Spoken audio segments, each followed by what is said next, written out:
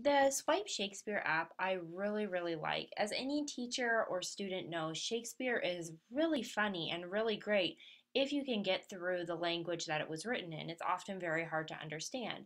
So, what I like about this app is it makes that hard to understand English very understandable.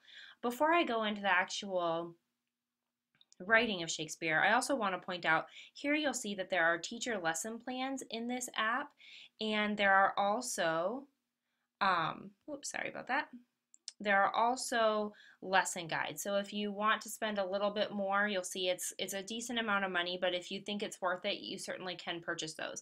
Otherwise, for the initial cost, all you you can get all of Shakespeare's plays and sonnets that you're going to probably need. So I'm going to tap on comedy plays and let's see here, I'll choose one of my favorites, Much Ado About Nothing. So I'm going to tap on that, and this is the cool thing about this app. So I'll go ahead and tap on scene one. It automatically asks me, do you want to read Much Ado About Nothing in original or modern? I'm going to choose original just to show you the contrast. So here's what we have in original, where you have the the writing that is often very difficult to understand. For instance, he is very nearby this. He was not three leagues off when I left him.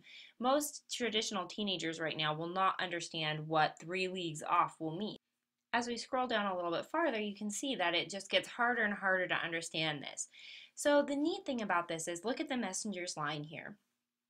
If a student is having a hard time understanding what that means, the student, all he has to do is swipe across with his finger and it will replace the original Shakespeare with a updated language that, so that he can actually understand what he is reading.